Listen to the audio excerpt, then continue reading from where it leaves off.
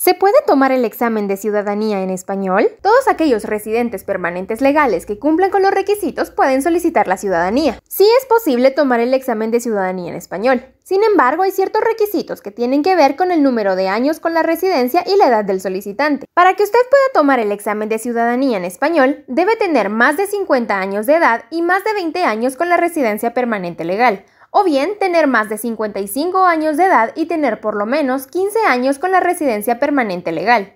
Preste atención, porque aunque usted tome el examen de ciudadanía en español, tendrá que responder las preguntas sobre historia de los Estados Unidos. El oficial de inmigración le hará un examen oral con 10 preguntas. Puede encontrar el listado de las posibles preguntas en la página oficial de UCIS. Ahora bien, si el solicitante tiene más de 65 años y 20 años con la residencia permanente legal, no tendrá que responder las preguntas sobre la historia del país. Si el solicitante puede comprobar que tiene un problema médico que afecte su aprendizaje, deberá utilizar el formulario N648 que debe ser llenado por un doctor y el oficial de UCI será quien decida si aceptar o no las razones médicas. Si el oficial de UCI aprueba su formulario N648, usted no tendrá que tomar el examen para la ciudadanía. Mucho ojo, porque si usted tiene una previa deportación, ha sido arrestado o cometido otras faltas, debe consultar esto con un abogado antes de registrar su solicitud de ciudadanía, porque de lo contrario su petición podría ser cancelada.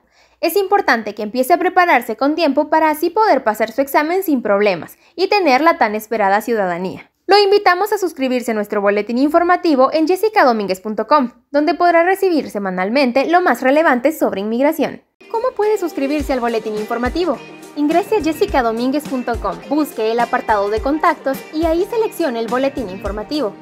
Una vez ahí podrá ingresar su nombre y su email y listo, ya estará suscrito a nuestro boletín informativo.